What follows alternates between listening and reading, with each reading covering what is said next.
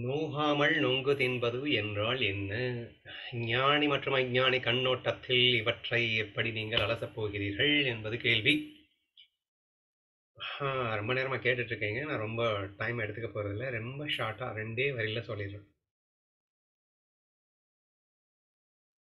இந்த பிரபஞ்சம் என்பது இறைவன் மாயையாக சிருஷ்டி செய்தது அப்படிங்கிறது ஓரளவுக்கு ஹையர் நாலேஜ் தெரிஞ்சவங்களுக்கெல்லாம் தெரிஞ்சிருக்கும் இல்லையா? அதாவது நோகாமல் தான் பரபிரம்ம பரமாத்மா பேரானந்தத்தில் திளைத்துக் கொண்டிருந்தது. நோகாமல் அது பாட்டுக்கு பரபிரம்மம் பரமானந்தத்தில் இருக்கும்போது எதற்கு இந்த பிரபஞ்சம் உருவானது? நோவதற்காக உருவானது. கற்பனைன்னே வச்சுக்கோங்க. சும்மா இருக்கிறதுல கிக்கு அப்படின்னா, இப்ப கற்பனை பண்ணணும்னாலும் அது ஒரு எனர்ஜி தானே. We need a shakti, effort to do a kalpana. So வெறும் கல்பனையால் ஆன இது மாய சிருஷ்டி என்றாலும் கூட வி நீட் அண்ட் எஃபோர்ட். அது ஒரு நோகு, அதாவது ஒரு வலிதானே அப்படின்னு கூட வச்சுக்கோங்களேன்.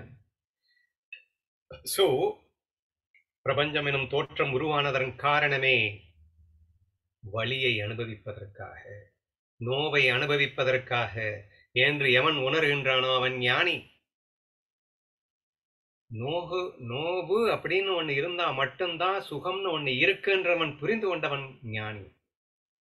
எதுவுமே செய்யாம சும்மா உட்காந்துருந்தா அதுல ஒரு கிக்கும் இல்லை we have to do something and we have to enjoy. C ஏங்க ஒரு பாட்டு பாடணும், ஒரு டான்ஸ் ஆடணும், ஒரு விளையாட்டு விளையாடணும். நீங்க வாழ்க்கையில நீங்க என்னென்னலாம் என்டர்டெயின்மெண்ட் அப்படின்னு நீங்க சொல்றீங்களோ அதெல்லாம் நோவு இல்லாம பின்ன என்னங்க அது? பாட்டு பாடணும்னா அதுக்காக என்ன எஃபோர்ட் எடுக்கிறீங்க? டான்ஸ் ஆடணும்னா என்ன effort so we need to take a lot of effort. அது எல்லாமே நோவு தானேங்க. எஃபோர்ட்னாலே வந்து கஷ்டம் தானே. கஷ்டம்தான் சுகம் என்று உணர்ந்தவன் ஞானி. ஆனால் கஷ்டப்படுவதற்கு பயப்படுபவன் அஞ்ஞானி. அப்போ இவன் எப்படிங்க சந்தோஷமா இருக்க முடியும்? அஜ்ஞானியின் கண்ணோட்டத்தில் அவர்கள் துக்கப்படுவதற்கென்றே பிறந்தவர்கள். அதன் விளைவு எனக்கு நோவே வரக்கூடாதுன்னு நினைக்கிறான். நோவு வேற, சுகதுக்கம் வேற.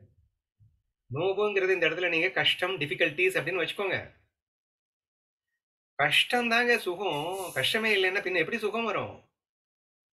ஸோ கஷ்டமே வேண்டாம் என்ன எப்ப சொல்லிட்டியோ அப்ப சுகமே வேண்டாம்னு சொல்றேன்னு அர்த்தம். இது அஞ்ஞானியின் கண்ணோட்டத்துல. நான் நோகாம நொங்கு திங்கணும். எப்ப நோகாமன்னு சொல்லிட்டியோ அப்ப நொங்கு கிடைக்கும்?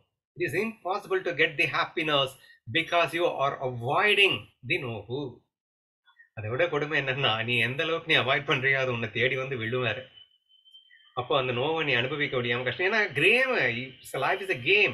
Play கிரவுண்டுக்குள்ள வந்துட்டு நான் வந்து விளையாட மாட்டேன்னு சொல்லி தப்பிக்கலாம் முடியாதுங்க. You have to play the game. நீ விளையாட மாட்டேன்னு சொன்னாலும் உனக்காக வந்துடும் பிளே பண்ணித்தான் ஆகணும். அப்ப நீ நொந்து நூலாய்த்தான் ஆகணும் என்ற மாதிரி ஆகிவிடுகிறது. என்ன ஒரு ஃபுல்லிஷ்னஸ்.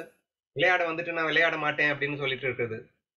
வந்ததே நாம இந்த பெயினை என்ஜாய் பண்றதுக்காக தானேங்க. எனக்கு பெயினே வேண்டாம்னு சொன்னா பின்ன எப்படிங்க என்ஜாய்மெண்ட் கிடைக்கும்? So this is the basis for of my analysis அப்படின்னு வச்சுக்கோங்க. ஸோ நான் சிம்பிளாக சொல்ல வர்றது என்ன? நோகாமல் நொங்கு திங்க வேண்டும். நொங்குன்றது ஹாப்பினஸ், பரமானந்தம்னு வச்சுக்கோங்க. நோவு அப்படிங்கிறது ஒரு ப்ராசஸ், ஒரு டிஃபிகல்டிஸ் ஒரு சில கஷ்டங்கள் சரியா? தட் இஸ் டோட்டலி இம்பாசிபிள் அப்படிங்கிறேன் நான். நோகாமலாம் நொங்கு சாப்பிட முடியவே முடியாது. ஆனால் நொங்கு சாப்பிடுவதற்காக நோவை அனுபவிப்பதல்ல. நோவே நொங்காக மாறுவதற்காக அனுபவித்தால் அது ஞானம். ஆனால் நொங்கென்று தனியா ஒண்ணு இருக்கு. அதை நான் நோகாம அனுபவிக்கணும் அப்படின்னு ஆசைப்பட்டேன்னா அதுக்கு அஞ்ஞானம்னு பேரு. சரியா?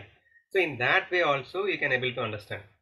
So புரியவே புரிய வேண்டிய ஒரு விஷயம் என்ன அப்படின்னு கேட்டீங்கன்னா, வாழ்க்கைன்னா என்ன? Life is a game. வந்துட்டோம். என்ன பண்ணணும்? விளையாடணும். ஏதோ ஒன்று நீங்கள் பண்ணணும். அது எல்லாமே நோவு தான். என்ன பண்ணாலும் நம்ம காலையில் எந்திரிச்சு பல்லு விளக்குறது கூட ஒரு நோவு தாங்க. அதுக்காக விளக்காமல் இருந்துட முடியுமா? அதுதானே சுகம். அதை நல்லா ஃப்ரெஷ்ஷாக இருக்கும்போது குளிக்கிறது ஒரு கஷ்டம் தான். அதுதான் சுகம். நீங்கள் செய்கின்ற ஒவ்வொரு செயலுமே உங்கள் சுகத்துக்காக தானேங்க பண்ணுறீங்க அதை நோவுன்னு நினச்சி எப்படிங்க அவாய்ட் பண்ண முடியும்? பட் அதை நம்ம சந்தோஷமா பண்ணும்போது நொங்கும் கிடைக்குது. ப்ராசஸும் என்ஜாய்மெண்ட்டா இருக்கு. ஆனா எனக்கு நோ வரக்கூடாதுன்னு நினைச்சிட்டீங்கன்னாலே ப்ராசஸ் மிஸ் ஆயிடும் ப்ராசஸ் மிஸ் ஆயிடுச்சு அப்படின்னா ப்ராசஸ்ல வரக்கூடிய பிளிஸ்ஸும் மிஸ் ஆகிடுச்சு நோங்கும் மிஸ் ஆயிடுச்சு ரிசல்ட்ல கிடைக்கக்கூடிய பிளிஸ்ஸும் மிஸ் ஆயிடுச்சு அப்படிங்கிற மாதிரி ஆகிவிடும் என்று நீங்கள் புரிந்து கொள்ள முயற்சிக்கலாமே அப்படிங்கிற ஸோ நான் இங்கே கொஞ்சம் டிஃப்ரெண்ட்டாக பேசியிருக்கேன் ஆக்சுவலா ஞானிகள் ஆல்ரெடி ஃபுல்ஃபில்டு நேற்று பேசணும் பிரயோஜனமே இல்லாத செயல்கள் செய்வார்கள். ஏனென்றால் அவர்கள் ஆல்ரெடி நிறைந்து விட்ட மனதோடு இருப்பவர்கள். நிறைந்த மனதோடு மேற்கொண்டு அவர்கள் ஏதோ ஒன்று செய்ய நினைப்பார்கள் அப்படின்ற மாதிரி நம்ம பார்த்தோம். ஆனா மேற்கொண்டு நிறைந்த மனது அது நிறைந்து விட்டது. நிறைந்த மனதோடு என்ன செய்ய நினைக்கிறாங்கன்னா நோவை அனுபவிக்க நினைக்கிறார்கள். ஏன்னா என்ன பண்ணினாலும் அது டிஃபிகல்ட்டி தான் அப்படின்னு நான் சொல்ல வரேன். லைஃப்ல டிஃபிகல்ட்டி இல்லாம எதுவுமே கிடையாதுங்க. மோஸ்ட் ஆஃப் பீப்புளுக்கு இது எது டிஃபிகல்ட்டி இல்லைங்கிறதே வந்து சூப்பராக இருக்கும். ஆஹ் ஒருத்தன்ட்ட கேட்டா ஐயோ இது என்னால் முடியாதுப்பா பயங்கர கஷ்டம் அப்படின்னுவான். அடிச்சு லூஸு இதை போய் கஷ்டங்கிற அப்படின்னுவான் அவன். ஏன்? Again it's a vision but unless you don't undergo anything ஏதாவது ஒரு ப்ராசஸ்க்குள்ளே நீ போகலைன்னா உனக்கு சுகம் கிடைக்காது. இப்போ எந்த ஒரு விஷயம் நீ ஈஸியாக அனுபவிக்கிறியோ அப்போது கஷ்டத்தை நீ சுகமாக அனுபவிக்கிறியோ அது ஈஸின்னு சொல்லுவேன் சரியா? இந்த ஈஸி டிஃபிகல்ட்டுக்கு நம்ம டெஃபினேஷனை என்ன சொல்லுவோம் அப்படின்னா கஷ்டம் தான் if you are able to enjoy it it becomes an easy but ரொம்ப ஈஸியான விஷயம் தான் if you don't know to enjoy it it becomes a difficult so எல்லாமே மனம் செய்கின்ற மாயை தானேங்க அப்போ இந்த உலகமே எதற்காக படைத்தேன்னா அனுபவிக்கிறதுக்காக படைத்திருக்கேன். அப்போ ஒவ்வொரு செகண்டையும் ருசிக்கிறதுக்காக ரசிக்கிறதுக்காக படைத்திருக்கேன். அப்போ ஆலிஸ் டேஸ்டில் இருந்து கொண்டு அனைத்தையும் சுவையாக ரசனையோக ரசிக்க தெரிந்த ஒரு மனிதனுக்கு நோவுகள் விரும்பும் வேண்டும் வேண்டும் என்று கேட்பான். என்னடா நோவே இல்லை லைஃப்ல ஏதாவது சம்திங் வேணும் இல்லடா என்னடா அது சும்மா போர் அடிக்குதுடா? அப்படின்னு ஒரு ஃபீல் வரும். வரணும். வந்தா நீங்க ஞானத்துல இருக்கீங்கன்னு அர்த்தங்க. Having known all this knowledges இவ்வளோ நாலேஜ் நம்ம கையில் வச்சிருக்கோம். எதுக்கு? அனுபவிக்கிறதுக்கு. அப்போ எப்போ அனுபவிப்போம்? சம்திங் நமக்கு வரணும். நோவுகள் வரணும். ஆனா அதை சந்தோஷமா அனுபவிச்சு காட்டணும். அங்கதானே கிக்கம் இருக்கு. நோகாம நான் சாப்பிடணும் அப்படின்னு நான் ஏன் நினைக்க போறேன்? ஸோ ஞானிகள் நோகாமல் நொங்கு சாப்பிட வேண்டும் என்று நினைக்க மாட்டார்கள்.